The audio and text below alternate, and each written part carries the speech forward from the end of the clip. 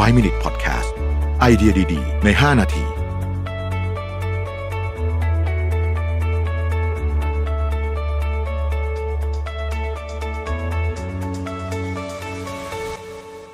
สวัสดีครับ 5 minutes podcast นะครับ คุณอยู่กับประวิทยานุสาหะครับ การผูกมิตรเนี่ยนะฮะ ก็เป็นอีกเรื่องหนึ่งที่สำคัญ โดยเฉพาะในสภาวะแวดล้อมของการทำงานเนี่ย การมีมิตรเยอะๆ เนี่ย หรือมีคอนเน็ชันเยอะๆ เนี่ยนะฮะ มันช่วยเรื่องการทำงานเยอะมาก คนที่ไม่ค่อยพูดค่อยจากับใครเนี่ยนะครับ ก็ย่อมไม่ค่อยมีคนที่จะช่วยให้คำปรึกษาได้ หากเราไม่ผูกมิตรกับใครอยู่เสมอ เมื่อเกิดปัญหามาก็ไม่ค่อยจะมีใครโผล่เข้ามาช่วยเราเช่นกันนะฮะแล้วเราจะต้องผูกมิตรสร้างสายสัมพันธ์ที่เข้มแข็งเนี่ยทำยังไง จากงานวิจัยด้านสังคมศาสตร์ ความสัมพันธ์ระหว่างบุคคลแบ่งออกเป็น 8 ประเภทด้วยกันนะครับ ลักษณะความสัมพันธ์เป็นรูปวงกลมซ้อนกัน ยิ่งใกล้ศูนย์กลางเท่าไหร่ ยิ่งเป็นความสัมพันธ์ที่เข้มแข็ง และมีจำนวนน้อยลงเท่านั้น คนที่มีสายสัมพันธ์ที่เข้มแข็งกับเราเช่นเพื่อนแท้ คนที่ปรึกษาด้วยได้ คนที่ปลอบประโลมเราเนี่ยมักมีอย่างมากไม่เกิน 10 คนนะฮะเพื่อนแท้อาจมีหลายคน แต่คนที่ปรึกษาด้วยได้ คนที่เราโทรไปหาได้ คุยเปิดอกได้ทุกเรื่องเนี่ยมักมีไม่เกิน 5 คนนะครับ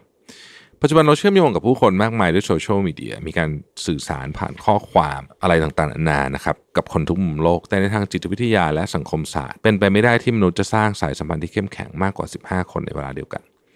คุณอาจจะมีเพื่อนใน Facebook 5,000 คนมีเพื่อนในไลน์หลายพันคน แต่คนที่ปรึกษาเวลาที่คุณเดือดร้อนได้เนี่ยไม่ได้เป็นคนทั้งหมดเหล่านั้นแน่นอนนะฮะผู้เขียนบอกว่าคนเรามีเพื่อนแท้แค่ 3 คนก็เพียงพอแล้วนะครับ พื่อนที่สนิทกันมานานเพื่อนแท้ที่ทำงาน และเพื่อนแท้ที่ชอบอะไรเหมือนกัน ขอเพียงมีเพื่อนแบบนี้อย่างน้อยอย่างละคนก็ย่อมเป็นที่ปรึกษายามเดือดร้อนได้ ผมทวนอีกทีนะครับ 1. เพื่อนที่สนิทกันมานาน 2. เพื่อนแท้ในที่ทำงาน 3. เพื่อนแท้ที่ชอบอะไรเหมือนกัน เพื่อนแท้คือคนที่ฟังเรื่องของคุณอย่างใกล้ชิดและคอยให้ความช่วยเหลือเวลาที่คุณเดือดร้อน ต่อให้เรารู้จักผู้คนมากมาย แต่ยามมีปัญหา พวกเขาไม่ได้ช่วยเหลืออะไรเรา ส่วนใหญ่ก็เป็นแค่เพื่อนเที่ยวเท่านั้น เพื่อนแท้จึงมีค่าอย่างมาก การใช้เวลามีค่าของคุณเพื่ออกใจคนที่มีสายสัมพันธ์เจือจางกับเรา เป็นการใช้ทั้งเวลาและชีวิตของคุณอย่างไร้ค่า แต่คนส่วนใหญ่มักสร้างสัมพันธ์กับผู้คนจำนวนมากเกินไป พูดง่ายๆคือเน้นปริมาณนั่นเอง ผู้เขียนบอกว่าโดยส่วนตัวผมให้ความสำคัญกับคนที่มีสายสัมพันธ์ที่เข้มแข็งกับเราสักสิบคน คนละสิบครั้งมากกว่าจะพบคนจำนวนหนึ่งร้อยคนคนละครั้ง ยิ่งเป็นคนที่มีความสัมพันธ์เข้มแข็งมากๆขนาด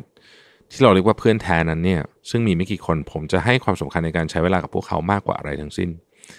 พูดง่ายๆว่าเราควรใช้เวลาคนที่มีสายสัมพันธ์เจือจางให้น้อยที่สุด และให้ความสำคัญกับการสร้างสายสัมพันธ์ที่เข้มแข็งกับคนเพียงไม่กี่คนดีกว่า ผมชอบประโยคนี้มากเลยนะครับ เราควรให้ความสำคัญกับการใช้เวลากับคนที่มีสายสัมพันธ์เจือจางให้น้อยที่สุด และให้ความสำคัญกับการสร้างสายสัมพันธ์ที่เข้มแข็งกับคนเพียงไม่กี่คนดีกว่า ขอบคุณที่ติดตาม 5 minutes นะครับ สวัสดีครับ 5 Minute Podcast